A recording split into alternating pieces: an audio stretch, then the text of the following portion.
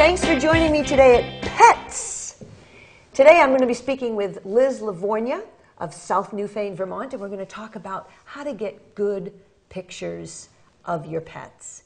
Everybody has pictures of their pets everywhere. Nobody carries pictures of their kids around anymore. They have pictures of their pets. And sometimes they're great to look at, and other times you just wish they'd put their cameras away.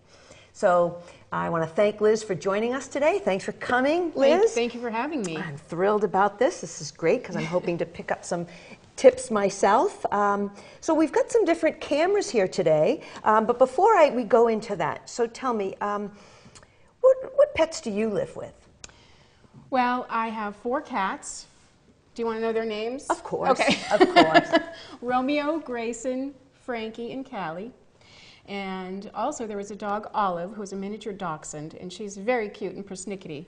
And she loves her picture taken, and if you've seen my page, uh, she's all over it. I think I have seen those pictures. Yeah. I think I have seen those pictures. We'll make sure Yeah. that other people get to Right. see them too. In fact, um, some of the pictures that, that folks saw in the lead-in to the show are some of Liz's She- pictures. So. Yeah, she's in there. Olive's in there, and uh, there are two pictures of cats that, those are my cats. Yeah, that's Yep. great. That's great. Well, thanks for coming, and, and we've each brought one of our our um, more uh, our better behaved pets, right? You brought Clifford, Yep. and I brought my little lab puppy here. I did put a jacket on him just to get a little contrast, a color there, Yep. um, to work with. Um, so, so Liz, what are some tips that people can keep in mind about getting the best pictures of their pets? Okay, well, there's really four things that you can do to get great shots. The first thing would be not to use the on camera flash ever. That's the only thing that you remember from the show today. Please remember that. Um, the reason that you don't want to use the on camera flash is that it creates a red eye. You know, when you see the animals with the glowing eyes, Right, it's right. a little scary, and, and it's actually not good for their eyes. So it's, it's good not to use on camera flash. The best thing to do is to go outside and use natural light and natural sunlight. Not really in direct sunlight, though. You want to be in the shade, if possible, um, because there's enough light that comes in to give you a nice shot. Um, if you're shooting indoors, then what you would want to do is um, position your animal by a window, by the window light. Uh-huh. And that produces a nice effect also. Like for cats, for example, you don't want them to be running around outside if they're indoor cats, Right. like mine are. yeah. So that's great. So, so we, we think about lighting and not using the flash. What else is really important? Positioning of yourself and of your pet. Most shots that I see of animals, people take them from standing above them and shooting down. Right. You kind of get the Hershey kiss effect, where Uh-huh. you have a little tiny head and a big body. Great. And I don't think the pet really appreciates that. Yeah. But um, so what what I do is I get on the same level as the pet, and that way you're able to to get a nice close up shot. Um, and it has a much better effect. Right. Right. So we've got the avoid the Hershey kiss effect Right. with those straight down shots, but try to get down lower to their level. Yes. Or, or what about maybe putting the animal up on something, a chair or a couch or something, and Yes, dogs might be easier to do that with. I know that I have some cats that only do what they want to do. So, for example, I was uh, having a mini photo shoot this morning with one of my cats, and um, you know, I was on the floor. She was, you know, sniffing the camera, you know, like that.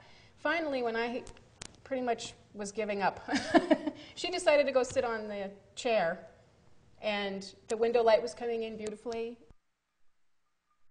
There you go. Just when you think you're, you're, uh, you've had it. right, right. So you've which, got which, yeah, which brings you to the next tip, which is patience. You really need to be patient with animals because, you know, they, they do what they want to do. Um, if you're if you're going to be um, doing a photo shoot with a dog, you might want to have them play for a while first. Right. There was one um, one of my friends had a dog um, that loved soccer balls and just kept rolling that ball, um, and then finally he took a break and he sat there right behind it, and that came out. That was that photo was in the intro as well. That was a great shot. right, you right. know?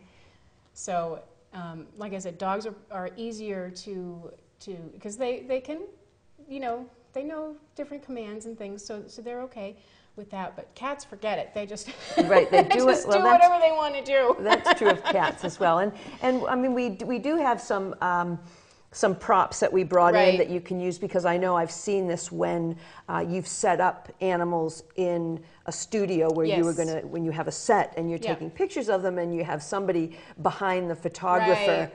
With you a know, wait, toy or yeah. and then you get those cute Yep. little head tilts and ear perks and things Right. like that. So, Right, so those so- are helpful. Yep, props and treats really work well to get their attention. Um, cats love these little fluff ball things. They and they look nice in a, in a photo Right. also. Um, so that's that's really a great a great tip. Yeah. Of course, you don't want to take a picture of the animal eating because that doesn't look good. but maybe just after they've swallowed, you know. And sometimes too, if you if it's your pet, especially, you know who knows them better than you. There are maybe you know key phrases that you say like, "Do you want a treat? Who wants a cookie?" Something like that, and they'll you know like with Olive, for example, the miniature dachshund. She hears cookie and she tilts her head, and so a lot of pictures are happening because of the word cookie. right, right, right. Well, you know the thing that's that is, um, I think, fa- amazing. Really, that is that m- most everybody is walking around with a camera in their Yes, pocket. yep. It's incredible. Yep. Um, and so, what are some of the the tools or the programs or the apps that are available for people who are using their cell phones or their um, I don't I have an iPod but it doesn't have a camera on it but the iPhone does. So what are, what are, are available to them for maybe editing or, or creating effects on their on their pictures? Yep, Instagram is something that's really popular. Basically, it's similar to a Facebook, but it's really just a photo sharing site. I have that on mine. Um, and let me see. Yeah, and there she is. There's Olive. Um, it's very easy to use. They, there are tools on there where you can make different effects, like you can have a black and white effect. Um, you can saturate the picture for deeper color. So, and you can do some cropping. Um, and it's, it's really just quick touch-ups. Um, so then you can upload them and share them with your friends. Right, right. So that's probably, I've been having a lot of fun with that recently. Right. So that's, that's probably one of the big ones. Um, Flickr is another site that you can share your photos and also do some quick editing, um, like quick easy editing.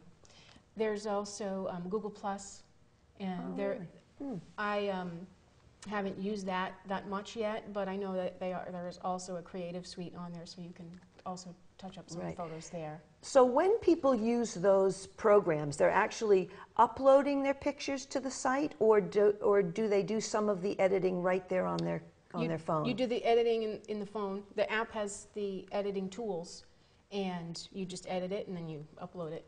So both Flickr and Instagram. Oh, that's Yeah, Flickr. Flickr is something that I actually haven't used Flickr on the on the phone yet. I, I so I can't tell you if that works or not. But if, if you want to use the computer, you can do you can do it that way too. right, right. I I, I use one um, that's called Pixlr, Mm-hmm. and I upload images, and they will let me combine them together so I can make a collage or something, or put a frame around them, or Mm-hmm. Yep. something. It's very basic. Yes. Um, and then I, I can download it to my site, but I don't have anything on my phone Oh, for that. yep. But Instagram, you can get the app. Yep, you can, and it has the framing and stuff too for that. It's a lot of fun. Right, right. Yeah. And and um, You can also share to Facebook through Instagram. If you, Ah. it's like all linked together. right, we see all those pictures Yep. that people they um, post them on their on their status page. Right. And know. speaking of that, I know that you do a find Finn almost every day, which is a lot of fun. Thank you. I do. Finn Do you want to talk about that? sure. and Finn is my border collie, and um, the. When we're outside, some, I'm always looking for him. Where's Finn? And I started taking pictures of Finn and making him be somewhat hidden in the picture, and people Mm-hmm. have to look for them. And I posted them, and people love them. Yep. I was really amazed. And then I discovered that there's a there's a border collie in Canada named Momo. And his owner also takes pictures of, of his border collie, Momo, and he posts them, and it's where's Momo? so I want to I want to find this fellow and say that Finn and Momo need to go do a road trip together. right, that would be awesome. um, but yes, if people want to friend me on Facebook, Debbie Jacobs, you can find me, and I do post my fine Finn pictures. I also post them on Pinterest, which is another photo sharing site that I know a lot of people use, and I do have a board my find Finn board, Mm-hmm. um, and I keep. Uh, telling my nieces and nephews who all have babies that I will make them a little find Finn book. So for their babies, their kids, they can look for find Fun. find Finn there. So. Um, uh, yeah, thanks for asking. Appreciate that. Appreciate that. Um, so we, we have a, a few cameras here, and we, we don't want to get into uh, too much of the logistics and, uh, of these cameras, but there are probably a couple of, of settings that might be helpful for people to be aware of. You just told me about one that I've had this camera for years. This is one of the first um, zooms that it had the 12x zoom on it. Right. And I was going away and I, I wanted to get pictures of wildlife. And so I got this, came out and I got it and I was thrilled about that. But all I ever do is set it on auto. Right. That's all I do and I take pictures and I'm happy. That's great. Well, you know what? I mean, as a as a um, standard, it's fine to have it in auto because the camera selects what it thinks is the best, you know, setting for you. Some people like to use auto, and some people never use auto, and they get into the DSLR cameras. Um, but in addition to auto, there are some other preset. Um, I guess you would you could almost call it like. Your next level of photos of, of um, preset buttons that you have. Like there's one that looks like uh, sometimes it just looks like a profile of a woman. Sometimes they show a little little child, but that's um, portrait setting. yeah. So with a portrait setting, if you're taking pictures of your dogs, for example, maybe not the ones where they're out in the woods because that wouldn't work. But if you want to do a nice close-up shot, it's similar to taking a portrait of a, of a person. Um, if the person is in focus, the background is in a soft focus. It's a, it's a gives it a nice effect where they kind of stand up, out from the background. So you might want to use that setting. That's the one we talked about right before we started today. Yeah, yeah, Yeah. That, that's, good. I'm, I And- learned something. Yeah, and also, again, going back to that no flash, you'll see a, a lightning bolt um, symbol on your camera. And usually that's the indication of that's where you can set your flash to no flash. so you want to pay attention to that one Right, too. to remember that, so folks can look for those Right. on there. Do these phones have flashes, any of them? They do. They do. And um, same thing, you have to go into the phone though to, when you're going to take a picture, you can set it so that it, it's no flash. Right, right. Amazing.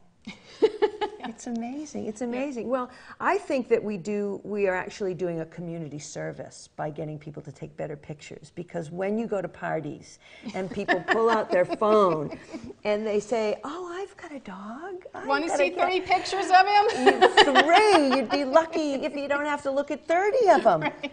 And all of them are like you're saying, they're, the dog's out of focus, their eyes, they look like zombies. right. Um, or like you were saying, that Hershey head, Hershey Right. kiss head that they have in them. So that is really helpful. So, so we are doing a community service there. Um, you know, with this program, getting you know, helping them to understand better ways to take pictures of their pets. So, Yeah. thank you for joining us. It Oh, was sure. fabulous to have you. And it was great. Yeah, thank you. And you know, really, again, just have fun taking pictures. And you know, it's something. Your animals, they're with you every day. Sometimes you forget. Time goes by really fast. But you know, one day you're gonna be like, oh, why didn't I take enough pictures of? You know, I I, I had so much opportunity. So it's like start doing it now. You know, even if you take a picture, one picture every day, or one picture a month of your of your animals. It's really. The more pictures you take, the better you get. right, So right. you know, it's really fun. So have fun with it. Right. Definitely. Have fun and no flash. have fun with no flash. Good. Remember that one. Yeah. And and I and I think it's probably helpful to almost every community probably has a class in how to use your camera. The community Yes. colleges. Vermont, Vermont Center for Photography has um, workshops and different classes um, that you could go to. They, I don't know if they have specific, you know, for specific um, cameras, but you know, it's kind of a general overview. Right.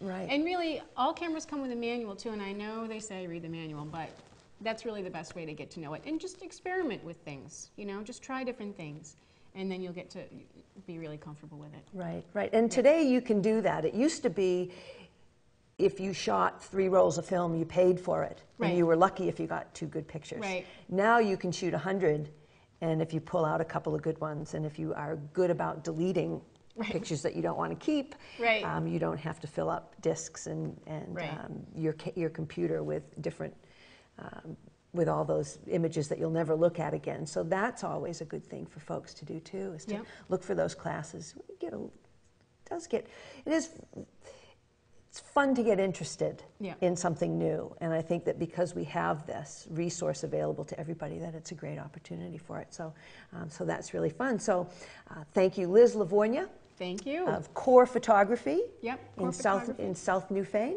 And thanks for coming, and thanks for bringing Clifford, the, the little red dog, Yeah, uh, to cute. join us today. So, and thank you all for coming and uh, meeting with us today, for sitting and staying, and I hope you'll be back.